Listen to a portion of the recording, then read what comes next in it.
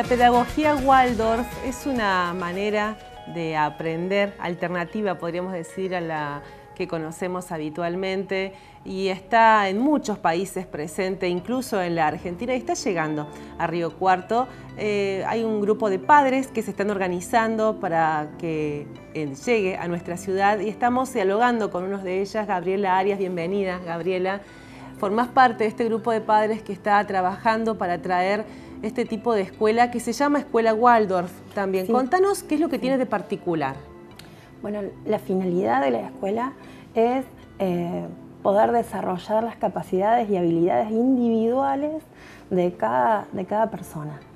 Eh, tanto sea en su formación en cuanto a los niñitos y bueno, en la formación eh, para docentes también. Entonces es como que, bueno, no es poca cosa esto, porque generalmente en la escuela tradicional es como tratamos de, amalgamar para poder estar, eh, digamos, integrando los contenidos. Acá no, acá es de otra manera y se le da el espacio y el tiempo necesario a cada individuo. Para ello, sin duda, se debe trabajar con grupos reducidos, imagino, eh, y quedan erradicados de plano lo que tiene que ver con exámenes, con notas, con sanciones. Claro, porque se toma en cuenta, no hay nada de eso, porque se toma en cuenta el proceso individual de cada uno y el profesor, el maestro, eh, bueno, va teniendo una detallada observación en un cuadernito de seguimiento, que eso es lo que alcanza y sobra para estar evaluándolo. Se le da el tiempo necesario. ¿Y cómo es la metodología del trabajo del día a día en esa escuela? se trabajan con los ritmos, eh, te cuento, por ejemplo, en el jardín, se entra en jardín, la docente está esperando en la puerta cada niñito que vaya ingresando, lo mira a los ojos, lo saluda y después entre todos se van sacando los zapatitos porque la idea es que estén como si fueran una casa. Y se ponen unas, eh, sí, como unas pantuflitas tejidas y bueno, y ahí se hace una rondita haciendo como, bueno, para decir, estamos acá, y empezar a tener la atención de que están en otro espacio y que ahí también vienen a estar bien, pero ya estamos, digamos, como en el día, despiertos. Generalmente se trabaja por la mañana en las escuelas Waldorf. A la tarde a veces hacen talleres o, no se hacen nada. Los jueves es el día donde los maestros se juntan para hablar de cada uno de, los, de sus grados y, empezar a ver qué es lo que se puede ir trabajando en cada caso particular, si hay algún caso de un nene que requiere más atenciones o no, bueno, lo evalúa eh, el plano docente. ¿Tienen horarios para cumplir también los alumnos? Sí, sí, se trabaja siempre de, 4 de 8 a 12 por la mañana. Eh, en el jardín a veces, bueno, se puede estirar, una, tener una hora menos, eh, en vez de hacer la, ronda a las 8 de la mañana, la harían a las 9.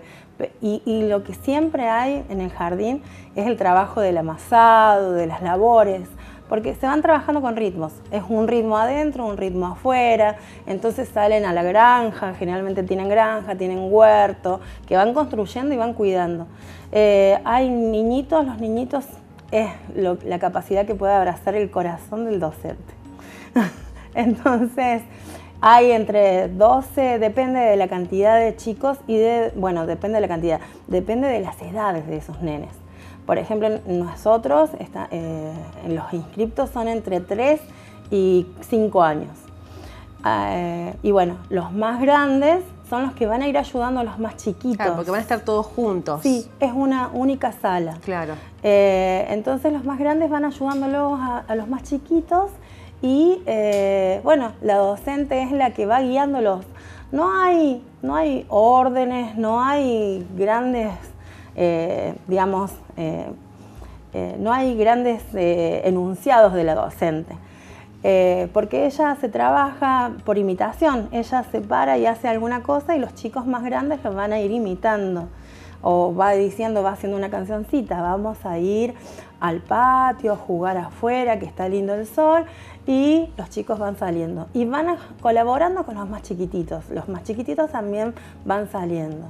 ¿Qué capacitación tienen los docentes para estar frente a este tipo eh, de educación? siempre se tiene la capacitación oficial, lo que requiere del certificado oficial de la nación, que es, por ejemplo, si es de maestro, el de EGB, bueno, y de nivel inicial. Y aparte hay eh, una carrera de cinco años que se cursa en las formaciones de docentes Waldorf.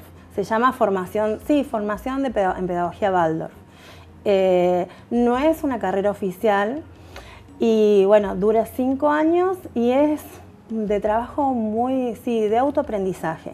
Igual que los niños, por eso decía que es tan importante que uno pueda eh, llegar a ser, digamos, a, sanar lo que puede llegar a tener que no está del todo bien. Es como así, de, auto, de autopercepción y sí, es un camino así muy para el interior. ¿Está reconocido este tipo de educación eh, a nivel nacional, digo, por el ministerio? Sí, hay muchas escuelas que están reconocidas. Ah, en Córdoba tenemos el Trigal, eh, pero se puede elegir, ¿está reconocida o no? Que hay que hacer los trámites. ¿Cómo es eso?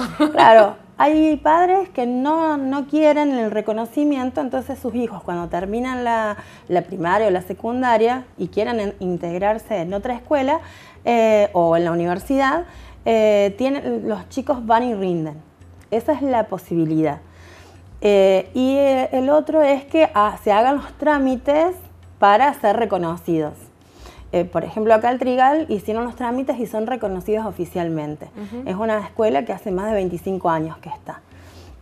pero acá en Córdoba hay un montón de escuelas que todavía no están oficializadas. No están oficializadas en Córdoba. La que ustedes están tratando de traer a Río Cuarto es la primera acá. Acá en Río Cuarto sí. ¿Vos te encontraste con muchos padres que tenía, estaban compartiendo la misma necesidad que vos de buscar un tipo de educación alternativa para, sus niños? Sí, sí, hay muchos papás.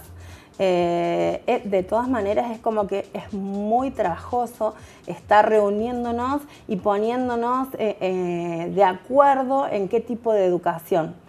Y, y en, sí hay, todo el mundo quiere algo alternativo pero es como que hay mucho desconocimiento con lo que es pedagogía Waldorf. Eh, no es una escuela libre, digamos, se le dice educación libre, pero por lo que trae, que te hace libre.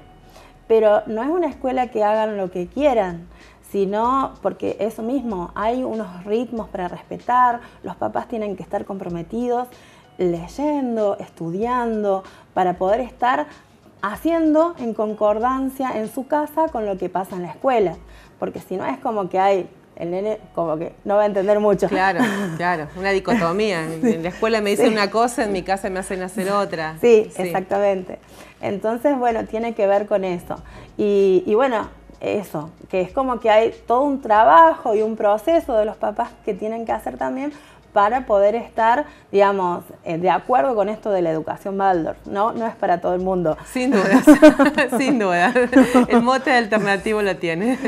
Gracias, Gabriela. Gracias por contarnos de qué se trata. ¿eh? Muy amable. Les proponemos ahora...